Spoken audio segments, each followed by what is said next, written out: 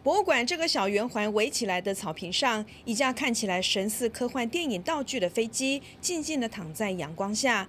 它和西雅图波音博物馆挑高大厅里的这架 SR-71 侦察机的外形几乎一模一样，但是仔细一看，可以发现专为中情局设计的 A-12 和后来美国空军太空总署 NASA 使用的 SR-71 不太相同。The A-12 has one pilot, and the SR-71 has a pilot and a reconnaissance systems officer. Because the SR-71 did more kinds of intelligence collection than the A-12. The A-12 was photography. SR-71 could do other things. Our mission is to collect intelligence any place, any way we can get it. We were authorized to build aircraft because we couldn't put spies inside the Soviet Union to find out what we needed to know about their nuclear program. 除了前苏联，一九五零到六零年代展开核武计划的中国，同样是美方情报搜集的重点。但是美国不方便出面，于是跟当时的国民政府合作，由台湾的飞行员以中华民国空军的身份，驾驶机身上有青天白日标志的 U-2 侦察机，执行 CIA 的情搜任务。包括陈怀生等国军飞行员先后遭到共军击落，有的阵亡，有的被俘虏。包括后来担任华航货机机长却劫机叛逃前往广东的王习觉，也曾驾驶 U-2 侦察中国的核武设施。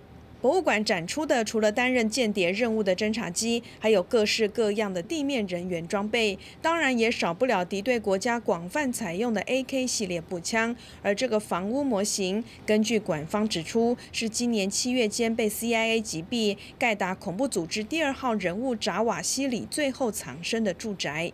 当然在 cia 七十五年的历史中除了重要的情搜和反恐任务也在过程中留下数不清的争议甚至污点。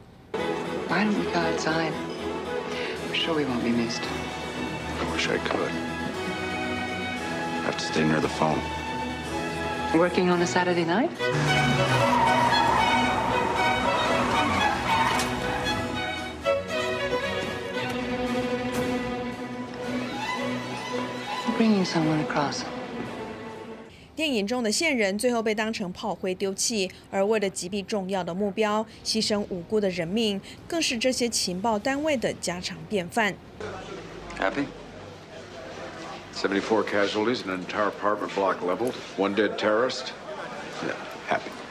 另外，CIA 被指控涉入外国的军事政变，乃至于吸收纳粹德国共谋者，加入情搜、非法监听以及杀人灭口，这些见不得光的政务，让 CIA 始终脱离不了丑闻缠身和民间与国会的质疑。这座位于美国维吉尼亚州、隶属于 CIA 管辖的博物馆，平常不对外开放，仅供 CIA 人员学习之用。不过，有兴趣的网友还是可以从博物馆的网站上稍微窥探一下全球最大情报机构之一的神秘之处。公视新闻徐家人编译。